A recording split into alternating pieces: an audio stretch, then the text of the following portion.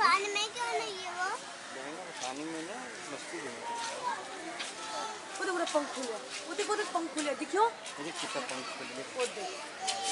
बंद कर दो तीन कलर का था। ना काट